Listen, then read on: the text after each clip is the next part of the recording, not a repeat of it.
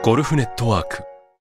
クーラーがすごいのはもう今までももちろん分かってたし惚れちゃうなって感じですよね。もう勝負を諦めるってことはもうしたくないっていうんでね。ちょっとまあ無理をして出て。お疲れ様でした。はいお疲れ様でした。お疲れ様でした。えー今年のプレイヤーズ、はい。最後まで目離せない面白い展開でしたけど、最高に楽しかったですね、はい。僕もうあの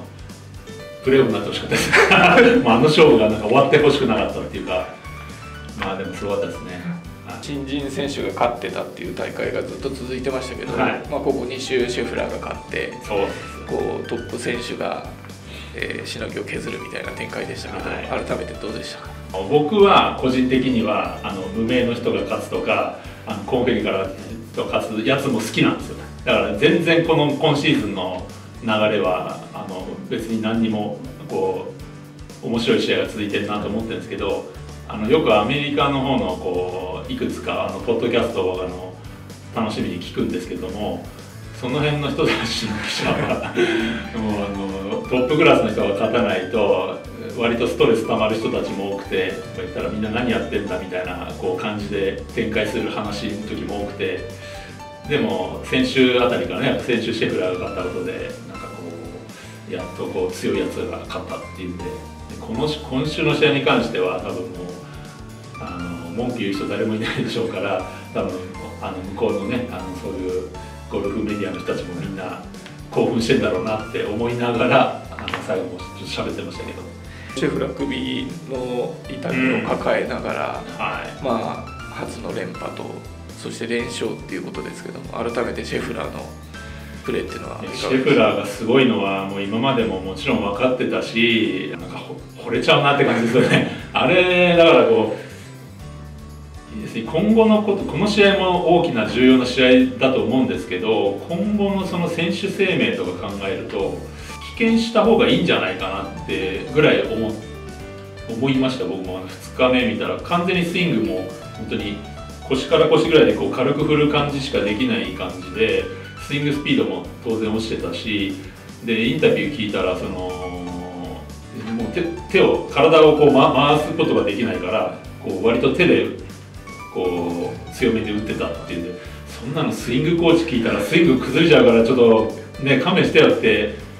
いうような感じだったんで棄権してもおかしくない状況だったと思うんですけどで本人もインタビューで言ってたけど自分はあの非常にまあコンペティティブなあの人間だからもう勝負を諦めるってことはもうしたくないって言ってねちょっとまあ無理をして出て、まあ、日に日に首はちょっとずつこう良くなって最終日もちょっと痛みはあったって言ってましたけどそれでもねああいうパフォーマンスするんですからうんすごいすごかったですね。惚れましたか？思いましたね あのなんかこう勝勝負ず強さというかあのちょちょっと昔の人っぽいって言ったらですけどなんかね今時はもうちょっとこうあの選手生命とかこう長い目で見て大事を取るっていう方が主流なのかなと思ってたんでああいう痛みの中でこうやりくりして勝っちゃうっていうのはなんかこうああいう感じなんか久しぶりに見た感じしましたね。いやでも僕はそうですね。それで最後ハイライト見ながら考えてましたけどやっぱあの4番がでかかったですよね。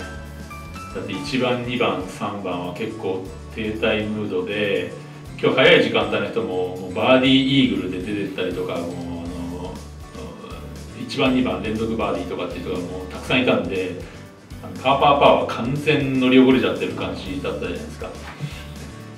だからこう、まあ、シェフラーねその今週首も痛いしその上位で終わるだけでもすごいなからあのなかなか優勝は厳しいなと思いながら前半見てたんですけどあれで本当なんか流れ変わりましたよね。途中から追いかける3人はシャ,、うん。シャウフェレ、えーハーマンとウィンナー・クラックさん、はい。まあ、それぞれいいプレー見せてたと思いますけど。それぞれにあの、まあ、みんなワールドランキング上位者ですしなんかもうこうプライドっていうかもう自分が勝つっていうかこうなんかあの大きなタイトルに向けてこう入り込む感じがやっぱ見てて興奮しましたよね。最後18番ウィンナム・クラークのバーディーパットはうん。くるっとなって。ぐるっとね。ああいうの本当もう運というかね。あれはだからまああの今日も相当リプレイされるでしょうしあの映像は歴史にも残って今後もこうあの語り継がれるようなこう、ね、あのクラークからしたら負けになるんでしょうけど。でもあれがウィナー・クラークが今後すごい勝った時にあのくるりんと外れたのが今こうなりましたみたいなストーリーに多分なっていくと思うんで、まあ、あれはあれでね、まあ、悔しいでしょうけど、まあ、いい戦いでしたね。あと松山選手、その4日間のプレーというのは、どういうふうにご覧になられました？まあ、スコア的にもね、4日間とも60代で、まあ、過去ショットの内容とか、グリーン上の内容とかっていうのは日に日に数字違いましたけど、まあ、すごく安定感があったように見えましたし、ショットも大きくなんか、どっか行っちゃうっていうのもあんまなくて、で松山選手のコメントも、そんなにこう、あの手放しで喜ぶ感じはもちろんないんだけど、まあ、なんとなくこう余裕があるようなコメントに聞こえましたんであのこの後来るねマスターズに向けては非常に順調にこういってる風に見えました、来週バルスパーですけれども、はいえーまあ、今週もちょっと一打及ばず予選落ちした久常選手また出ますけど、ちょっとねルーキーの洗礼で、まあ、ルーキーっていっぱいいるんですけどあそこはねなんなの外国人のちょっと辛いところというか2日目午後の最終組に、何回目ですかね。4回目ぐらいと思いますよ久常のあのスポット入るの。最終で最近あの別に天気荒れたわけじゃないけど日没サスペンデッドになっちゃうのが多くてね。で土曜日の朝に1番1番ホールだけ予選カットラインかけてやるみたいなちょっと久常選手にとってはちょっとかわいそうなというかタフなねあのあれが続いてますけどでも予選落ち1打落ちっていうのは本当に惜しいあの通過と紙一重でいいゴルフしてるからそういうところで落ちると思うのでこれはもうこの悔しさは後ほどあのいい方に何かこうご褒美来ると思ってます。フロリダスイング最終戦のバルスパーですけども、まあ、他のメンバーも結構豪華な顔ぶれが出ますけど、ね、い。かがですか？